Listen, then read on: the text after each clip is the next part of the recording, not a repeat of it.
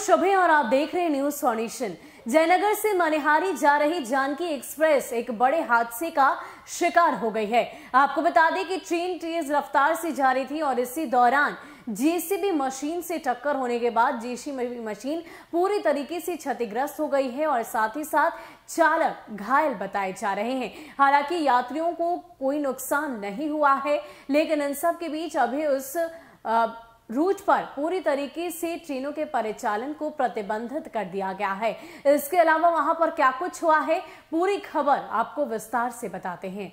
जयनगर से मनिहारी जाने वाली जानकी एक्सप्रेस बखरी ढाला के नज़दीक 10 नंबर रेलवे गुमटी पर हादसे का शिकार हो गई है।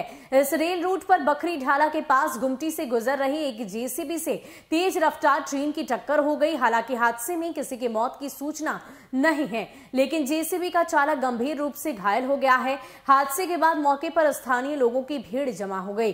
ट्रेन और जेसीबी के बीच टक्कर इतनी जोरदार थी कि भारी भरकम मशीन भी क्षतिग्रस्त हो गई है। वहीं हादसे के बाद रूट पर ट्रेनों की आवाजाही बाधित हो गई है।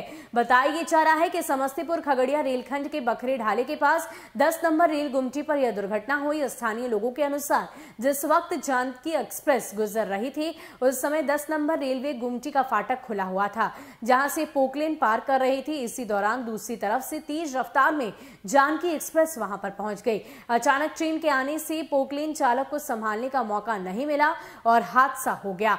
इधर रेलखंड पर ट्रेन दुर्घटना की खबर मिलते ही समस्तीपुर रेल मंडल के अधिकारी घटनास्थल के लिए रवाना हो गए हैं। कुछ देर के लिए इस रूट पर ट्रेनों के संचालन को बाधित किया गया है।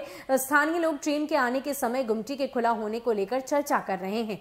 लोगों के बीच ये सवाल है कि आखिर जब ट्रेन आ रही थी तो उस समय दस नंबर गुमटी का गेट आखिर क्यों खुला था?